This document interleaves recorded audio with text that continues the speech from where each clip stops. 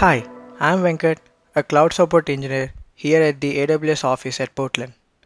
Today I'm going to show you how to set up your Amazon Simple Storage Service bucket so that you can require full control access for cross-account uploads. Let's get started.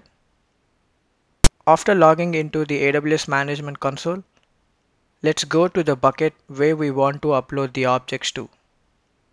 Notice that there's an object already put into the root of the bucket. We will work with this object later in this video. From the root of the bucket, we see Permissions tab at the top. Choose the Permissions tab and scroll down to the bucket policy. Choose Edit to edit the bucket policy. After editing the bucket policy, save this policy. I have already saved this policy on this bucket. Now let's go to the other account and create a policy to allow access to put object and put object ACL and also to set list bucket permissions. Now go to the user who will be allowed to make the cross account request from that account. As we can see, I have attached an existing AWS identity and access management policy to this user. If we see the IAM policy here, then we have already added the required permissions to the user. Now log into the command line with these IAM user credentials using AWS configure and provide the credentials of the user. You can get the credentials information when you create the user. Just be sure to note them for use later. To confirm that we are logged in as that cross-account user, run AWS STS get caller identity using the AWS command line interface. From my local disk, I will use the following command to copy a file to the cross-account S3 bucket along with a adding bucket owner full control argument. Let's move back to the console where we open the root of bucket we can see that the object is copied. Let's select the object and view the permissions to see that the bucket account has full control ACL over the object.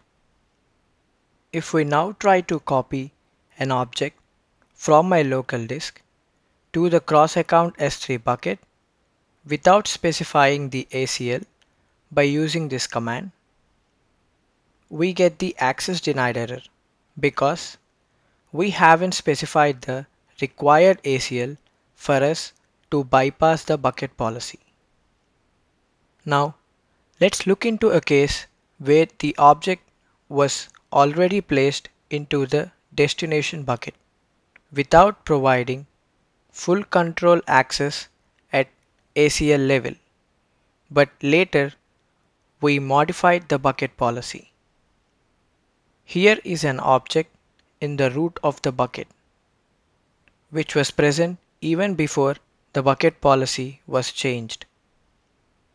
If we select the object and go to permissions, we can see that the object owner and full control ACL is allocated to only the cross account where the copy operation was completed from. In this case, if we run the following command using put object ACL API, the cross account bucket is granted the bucket owner full control ACLs. Now, when we go to the bucket to check for the object ACL, we can see that the bucket account has full control access and the owner of object is still the cross account.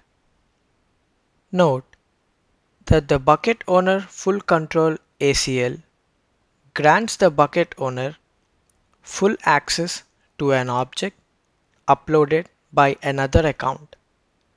But this doesn't mean that the ownership of the object is changed. The owner of the object is still the cross account.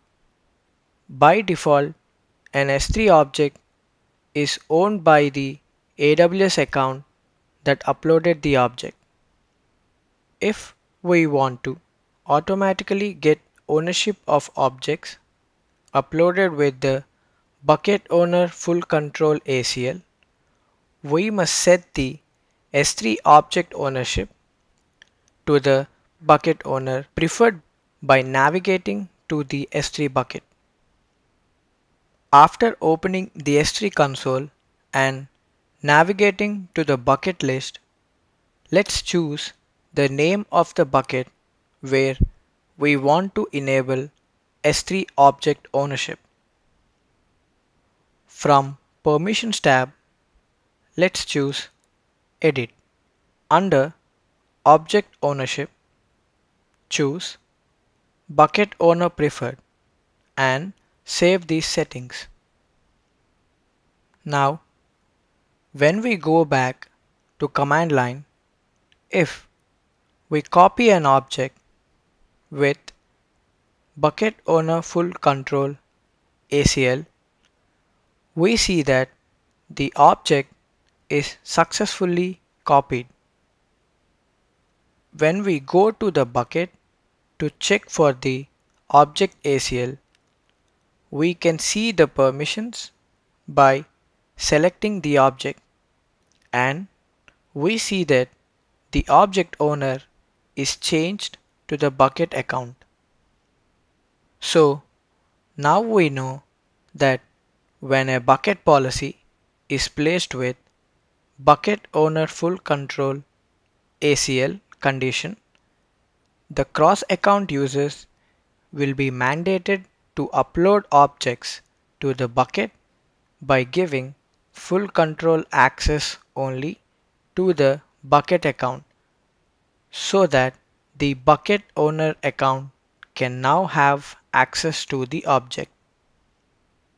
Thanks for watching and happy cloud computing from all of us here at AWS.